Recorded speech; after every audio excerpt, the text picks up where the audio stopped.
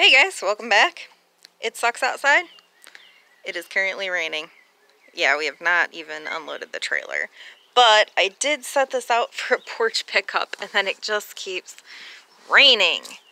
I'm trying to keep it as dry as I can. It's a $6 porch pickup for something that we have garbage picked. So, I mean, whatevs. It's not a big deal, but I really am trying my hardest. Oh my god, look at all the water in there. I really am trying my hardest to keep this as dry as physically possible. I should probably just dump it, huh? I'm not doing this right. At least it's clean now, huh? Oh, man. But yeah, that is out for a $6 porch pickup. Crossing my fingers she shows up at some point. Oh, and I finally, after weeks, I have figured out who makes these glasses. I found these in the Goodwill bins, I think the last trip, maybe. Was the last trip? I don't remember. But it has taken me this long and this much Google searching to figure out who makes these glasses. I don't know if you can tell on here, but they've got like an iridescence to them. Pressed glass, obviously old. I found five of them in the bins, which is just crazy that they weren't broken. There is some like little tiny nicks to the edges of the outer pattern, which is weird. All of the rims are fine. But, dun dun dun, they are made by Indiana Glass Company. And the pattern is called Colony Park Lane. Just an FYI, in case you guys were curious. So, I am finally getting these listed on eBay and Etsy right now. Grabbing the things that we have sold. We don't have a lot to share today, but we sold one on eBay. We sold one on Etsy, so better than nothing. We'll start with the eBay sale because why not? I had these listed for I think $19.99 plus the cost of shipping. Now, I pulled these off of, I believe, a couch when we were garbage picking. I had every intention of reusing them. I had projects in mind. But that never happened. So they either came off of a chair or a couch. I don't remember now. They might have been like a big chunky chair. But uh, yeah, so I decided last year, I think that all these pieces that I'm hoarding, holding on to, I likely am never going to use. So I did list them on eBay for, like I said, I believe $19.99 plus the cost of shipping, and I ended up getting a $12 offer plus the cost of shipping. There is some scuffs. I decided to take it. I have literally no money into them. I pulled them off of a couch or chair or something while garbage picking. So these are going out $12 plus the cost of shipping. Not too bad there. And then we sold these little dudes over on Etsy. So let me pull that up real quick. Hold please. I do not have any money specifically invested in this set either. I got these in a box lot of stuff that I bought from an auction and this wasn't even something that I even knew existed in the box lot until I got home and started going through stuff. So literally it was kind of like a freebie. Sold them on Etsy for $10. You can't really see, but there is like a salt and pepper. They're like mid-century modern style. You can kind of see the S on that one. Can you see that? Anywho, they're completely usable. I thought they were cute, but definitely mid-century modern styling.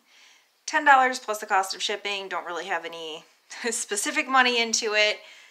$12 plus the cost of shipping. Have zero money into it because we garbage picked them. I, I mean, I guess you could include gas, but I'm not going to. We're going to get this stuff boxed up and ready to go out. And then I think later we are going to go garbage picking. We did get truck and trailer unloaded for later. And in the meantime, I was thinking I have seen people selling these before, so instead of throwing them in the scrap pile, I told Rich to throw them up on swap for like five bucks a piece just to see what happens. We've got one already pending pickup, so I think from now on we might just throw these up on swap and just... That's more than what we're going to get at the scrapyard, that's for sure. Well, that was fast. One of them is already gone and we have $5. Gotta hurry, hurry, hurry. I'm actually doing a favor for a friend real quick uh, that works at the post office. But did put this out for a porch pickup, $10. Another thing we garbage picked that has compression. It's like an edger, an old edger. I don't know. 10 bucks, better than what we'll get from the scrapyard, so why not? We're back, and the edger is gone.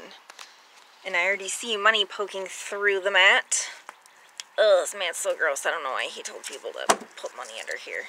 And I literally just washed my hands. Gosh darn it. But we have $10. Better than what we would have done at the scrapyard. Trying to figure something out. Our No Arms Andy that we got from the squatter house is pending pickup. But we are leaving to go garbage picking. And we're supposed to get a pretty... Why are you not turning? We are supposed to get a pretty gnarly thunderstorm at some point, possibly. So I have to make sure he is covered and not going to get all funky in the storm. so cross your fingers through me while I figure this out. That's just going to have to be sufficient. I just noticed the white drawer things, they're not here. I have no idea when those got picked up, but there should be money in here, which it looks like there is. Cool, whole $6 for something we garbage picked. We're gearing up. Cross your fingers, there's supposed to be a really gnarly thunderstorm heading this way quickly. Hopefully we do not get stuck in it. Hopefully there are no tornadoes, which is a possibility, I guess. But we're gonna go anyway, because what else do we have to do, right? Seen this earlier when we drove by. Figured I'd grab it for scrap. And it started. Pile of metal. And actually, some of these things look kind of cute. Alright, so we got like an, it's an ab sizer, not a bun sizer. Kept calling it a bun sizer. No, that one's an ab sizer great. Now he's calling it a muffin topper. This is cute. Super cute. Dumping the water out of this and putting it inside so it doesn't get messed up. Alright, so we got shepherd's hooks. Oh, oh, we're caught.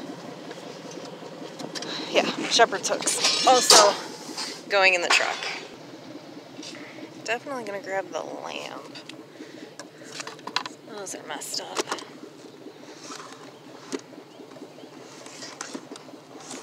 Hmm. I think I'm gonna leave that too. Just gonna grab the lamp. Oh man, I'm not looking forward to this at all. This is gonna be so freaking heavy. And it looks like we are already gonna have to move the trailer contents around so we can fit the stove in. Stovetop works, oven does not, needs control board. That's alright. It's gonna go to the scrapyard and be something else had to completely rearrange the trailer.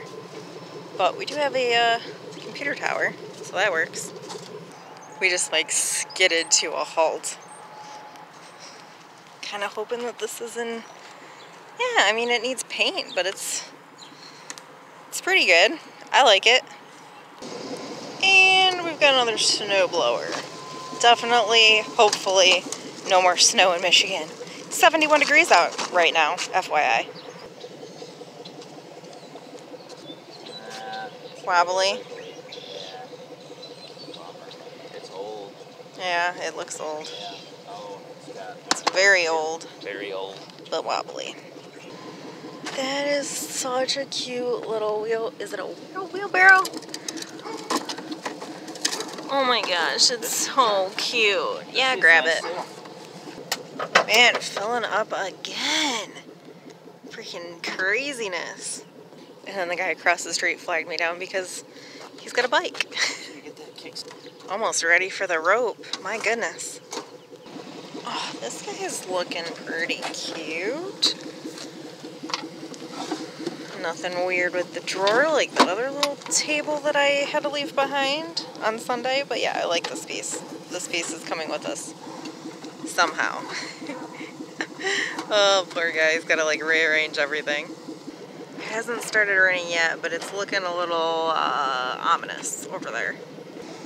Oh yeah, fits like a glove. Officially our last pile. Unfortunately, we're not going to be able to get the bench. The rest of the stuff I'm not really all that interested in, but Rich did grab two aluminum doors.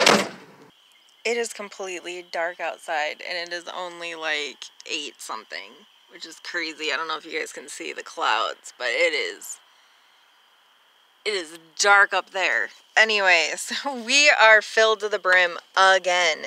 Looks like he grabbed a fishing pole. Got this little end table, got cute metal thing, got a little kid's bike that's actually sellable, I do believe. Um, we got the kids' wheelbarrow thing. This right here is the aluminum um, door frame. We have a stainless steel sink. We have this like drawer thing. We have this super cool green bench that is sturdy. It just needs some paint. We need to move that file cabinet over to this side inside the truck. We've got snowblower, that thing. it's a motor of some sort.